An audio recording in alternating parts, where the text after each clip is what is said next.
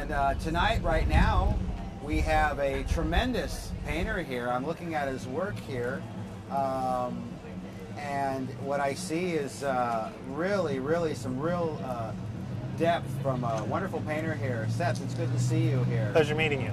And oh, thank you. Um, tell us a little bit about your work. Um, my work, I uh, worked on documenting the ho- America's homeless for the past 10 years, or about 11 years now, where I've traveled throughout the country and um, d- done drawings, paintings, and some videotaping of the people's stories. Wow. Wow.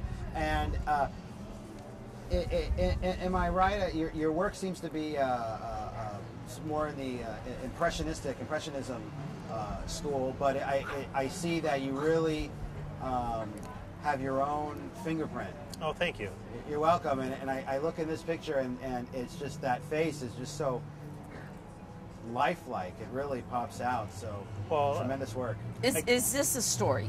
Um, this is a story right here, and I guess um, from you know saying that my work looks a little bit impressionist, um, from the impressionist painting outdoors in the 1880s and 90s um, to when I work outdoors, um, usually all my paintings that I do are from life, and this was done at the SAMM Shelter on Frio and Commerce when the SAMM Shelter here in San Antonio was still up before the Haven of Hope came into existence. Right, right, right, right. Well, congratulations on a tremendous Yeah. piece of work. Oh, thank you. Uh, do you have anything coming up next?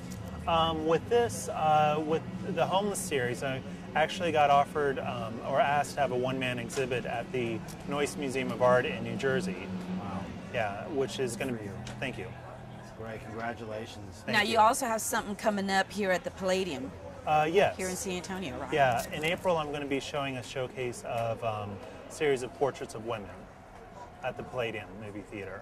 Wow. Now, Seth, if, if some of our viewers or, you know, even some of uh, our uh, guests that are out here tonight, if they want to come and visit you, where can they come and find you? Um, at the across from the Josephine Street Theater, at the Highwire Art Gallery. Um, my fiance and I, we live right behind in the back parking lot, Okay. above um, in a little loft there, and uh, we're opening up our studios. So if they contact us, they can have a personal uh, visit into an artist's studio. Wonderful. And for those who are watching, who are you know nationwide, that are do not live here in San Antonio, if they want to purchase a piece of uh, your artwork, do you have a website where they can? Uh, the contact website's going to be up in about one or two months, but um, they can contact me on Facebook? Okay. uh, for right now. Seth Camm. Yeah, Seth Camm.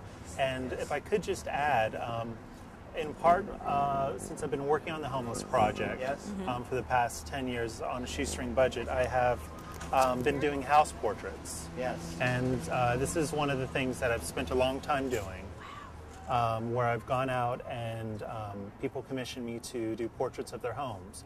So I've been um, very fortunate enough to be painting um, throughout San Antonio uh, portraits. It's beautiful. That is beautiful. I'd like to move in there. Wow. Was that house empty? Uh, no,